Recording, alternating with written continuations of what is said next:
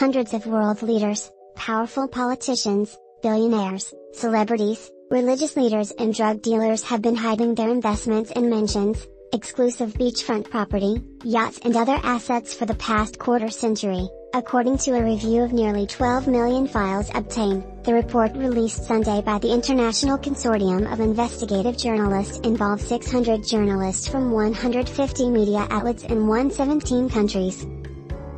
It's being dubbed the Pandora Papers because the findings shed light on the previously hidden dealings of the elite and the corrupt, and how they have used offshore accounts to shield assets collectively worth trillions of dollars. The more than 330 current and former politicians identified as beneficiaries of the secret accounts include Jordan's King Abdullah II, former UK Prime Minister Tony Blair, Czech Republic Prime Minister Andrej Babiš, Kenyan President Uhuru Kenyatta, Ecuador's President Guillermo Lasso, and former.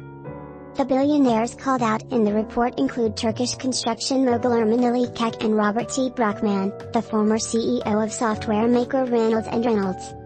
Many of the accounts were designed to evade taxes and conceal assets for other shady reasons, according to the report. The new data leak must be a wake-up call, said Sven Giegold, a Green Party lawmaker in the European Parliament. Global tax evasion fuels global inequality. We need to expand and sharpen the countermeasures now.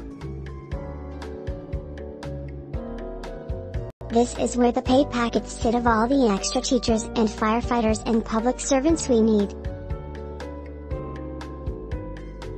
Whenever a politician or business leader claims there is no money to pay for climate damage and innovation, for more and better jobs, for a fair post-COVID recovery, for more overseas aid, they know where to look. The Pandora Papers are followed to a similar project released in 2016 called the Panama Papers compiled by the same journalistic group.